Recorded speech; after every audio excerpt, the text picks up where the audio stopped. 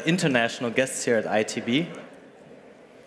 Um, so I'm gonna let you guys settle because we have in and out here, but uh, maybe just a short introduction. So uh, my name is Torsten. I'm a co-founder at Customer Alliance, and we're a startup company from Berlin. Uh, we've grown in a couple of years from uh, two co-founders to almost 100 team members, helping businesses to control um, their reputation online.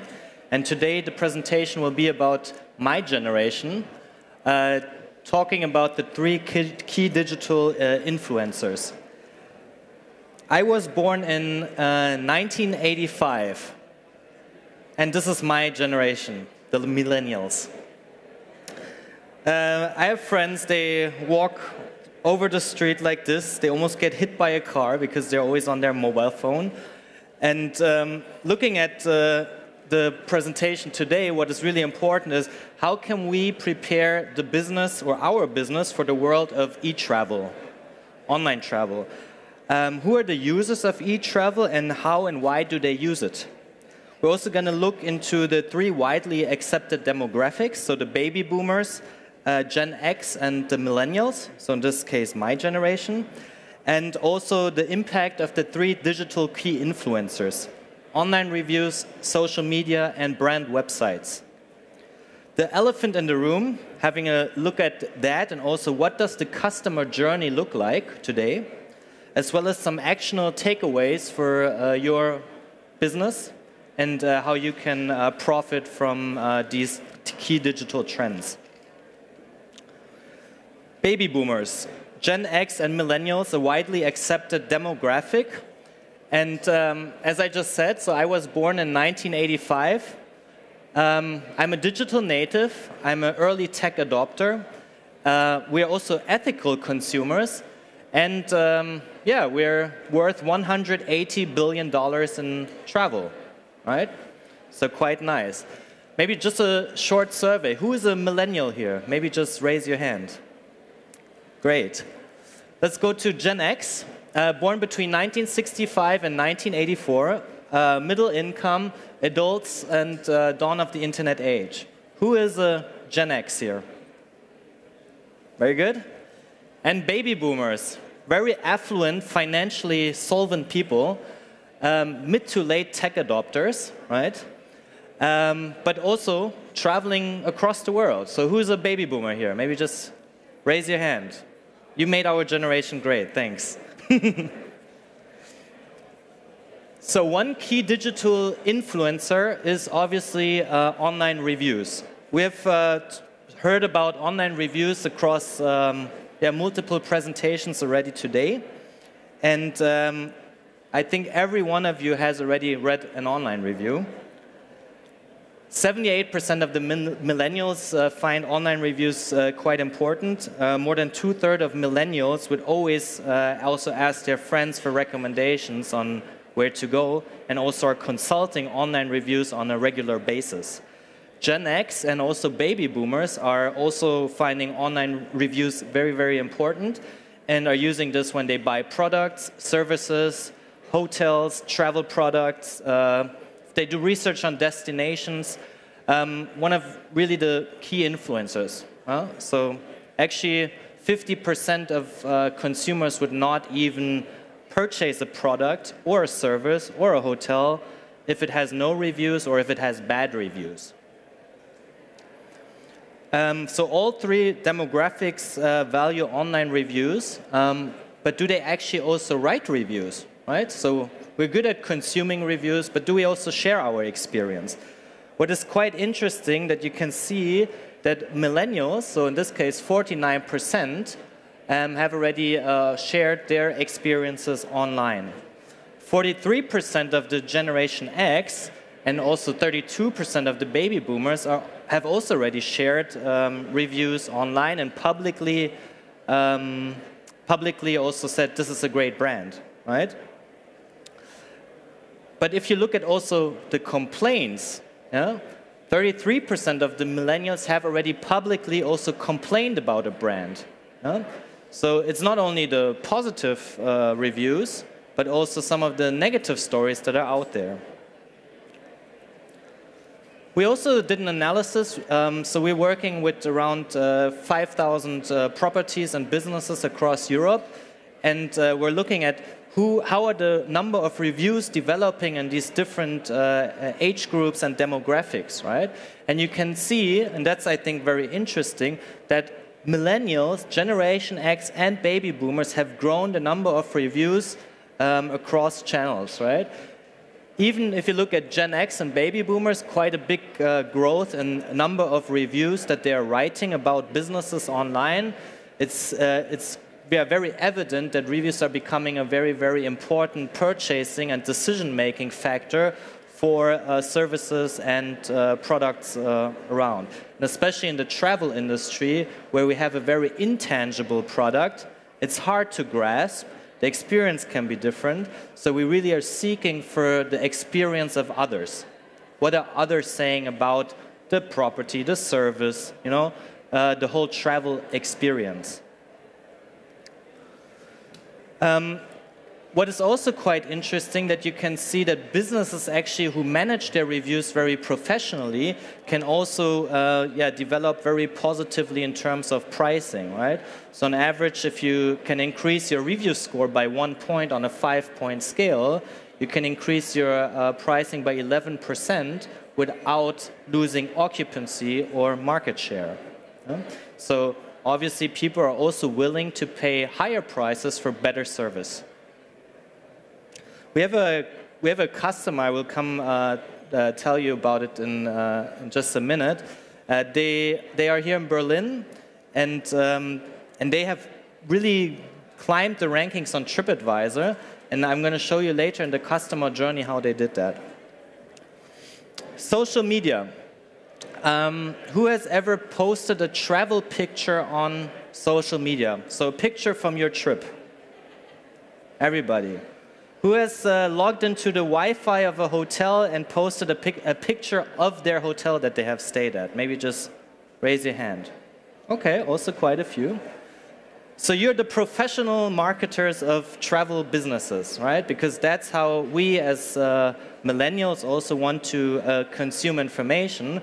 So we don't, we don't trust in um, TV advertising, radio, radio advertising, or any other traditional form of advertising. We want to hear what do our friends recommend. Huh? And this is mainly happening on social media.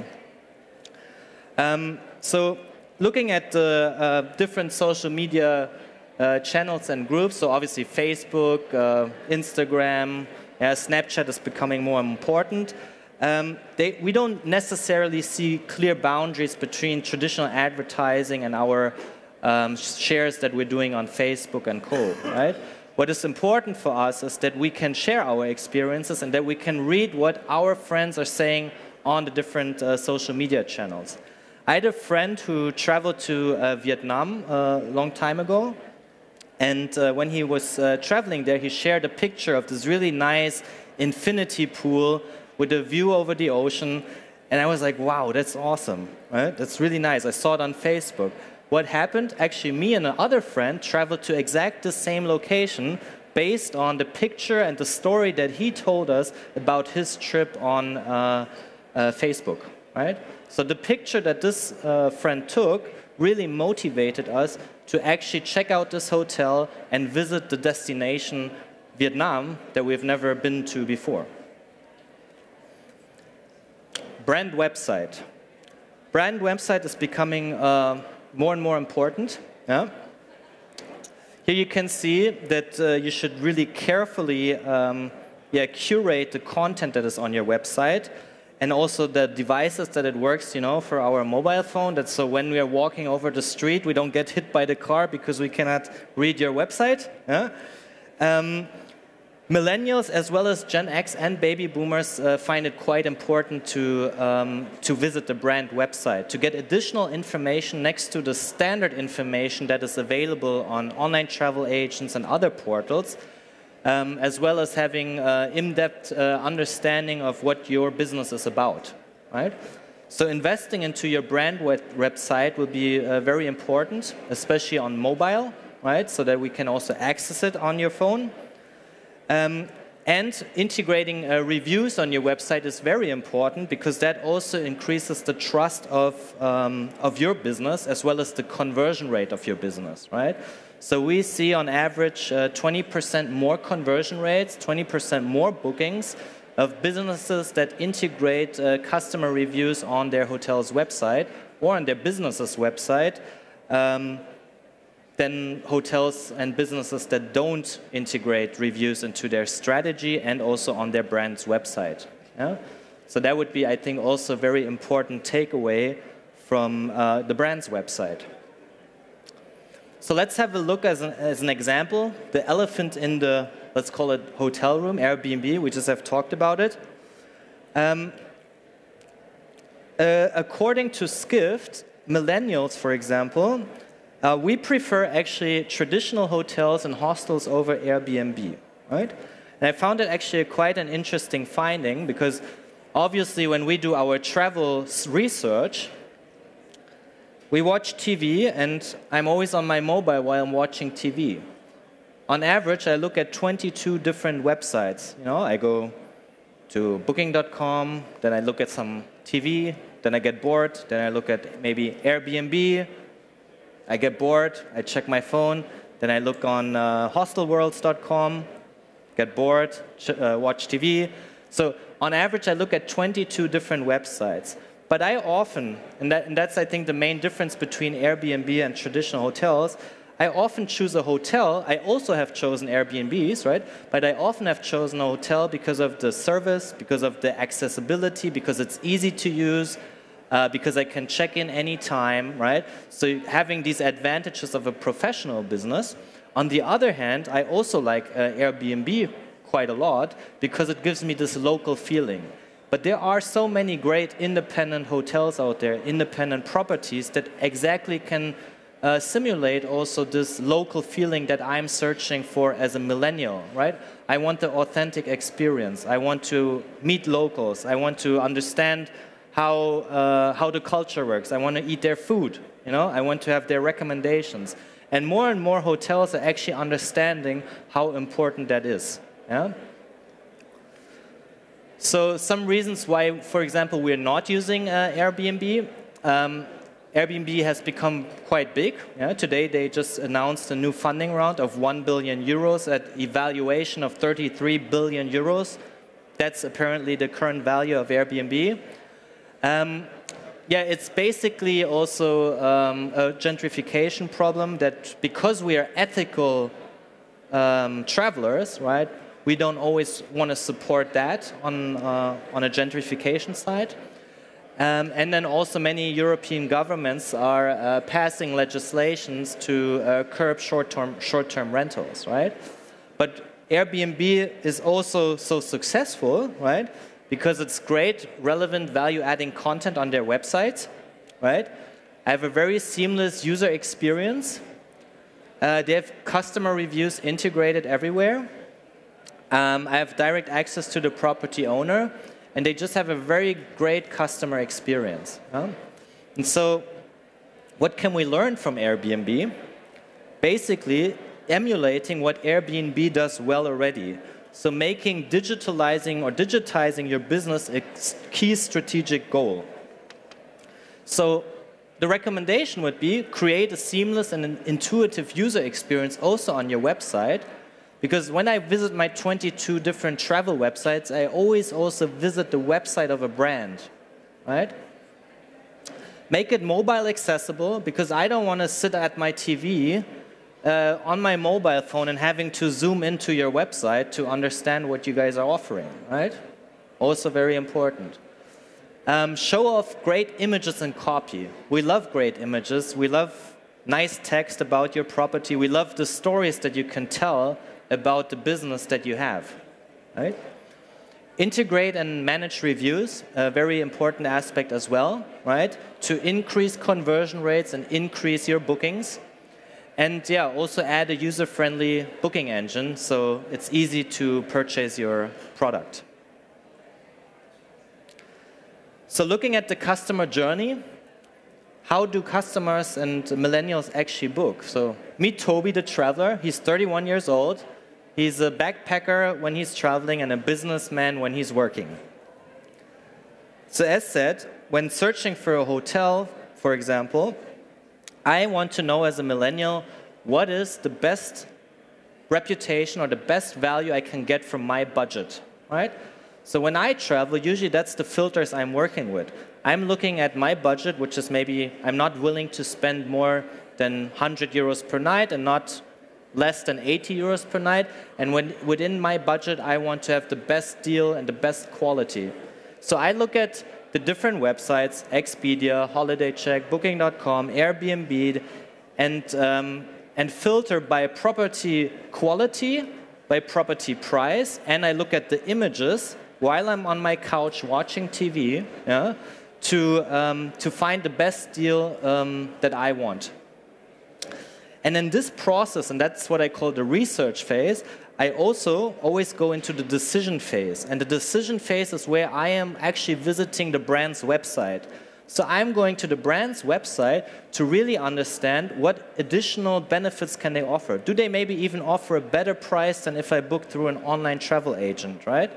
Can I get more information which I don't find on standard portal information, right? And, um, and here it's also important that you show off like the total score of your reviews that you have to also again increase your conversion rate and direct bookings. Then before I arrive and when I make a decision, um, I also want to be informed by you as a business about how do I get to your place. I want an email in my uh, cell phone, right? Send me an email, how do I get to your place, right? I want an email with recommendations of what are the best local restaurants around your business, right? What are the tours that I can take? So the pre-stay communication is very, very important um, because that makes me really feel welcome also uh, to, your, to your business.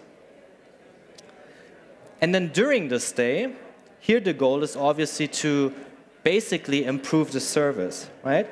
So we have customers that basically ask, ask their guests during the stay via SMS, email, or even through the Wi-Fi to give them feedback on how they like it at the property, right? One simple question, do you like it, yes or no? And if no, what can we do better? This really helps A, the customer to feel really appreciated, B, to also at the end get better review scores um, at the end, right? That's post day. So asking the customers to actually recommend you. Yeah? Ask your guests to recommend you via um, Facebook, TripAdvisor, Google, your own website, Holiday Check, uh, any portal that is out there, um, because that can significantly improve your rankings and therefore also increase uh, the number of uh, bookings you get in the future. And here I come back to the story that I wanted to tell you in the beginning. So in Berlin, the top 10 hotels, right, 40% are our customers. And what do, what do they do differently? Basically, what they do is they, first of all, do the whole process. So they collect reviews pre, during, and post stay. So they really increase the frequency and number of recommendations that they get from their guests. Um, and they actually work on the quality, right? So they see I had a talk with a general manager and said, hey, Torsten, I want to get under the top 10 on TripAdvisor. How do I do that, right? And I said, well, you're collecting already quite a lot of reviews. That's quite good. You're act proactively collecting reviews here. But what you actually have to do is you have to work on your breakfast because every second review is complaining about the quality of your breakfast. So what he did is he called um, the breakfast guy they changed the breakfast design and the presentation, and within four weeks, they grew to be uh, with two properties under the top 10 of hotels in Berlin. And um, so now I think almost 40% uh, of, the, uh, of our customers are under the top 10 in Berlin because they really actively collected reviews during stay, post stay, and um, yeah, increased their uh, or improved their service. Yeah? So use all the channels that you have. Use email. Here on email, you would get on average 25% return rate from your guests recommending you. Um, use Wi-Fi. Wi-Fi has a very nice um, uh, feedback collection system. So always when a guest logs into your Wi-Fi, you can ask him for a feedback or a recommendation. Um, yeah, and, and also ask them to share their reviews on Facebook, right? Ask them to share their reviews on uh, Instagram or on any other social media site. Because every guest that will share their experience to their 200, 300, sometimes 1,000 friends on social media is a brand ambassador and a marketing ambassador for your business. There's no way you can get better uh, marketing dollars out there for free.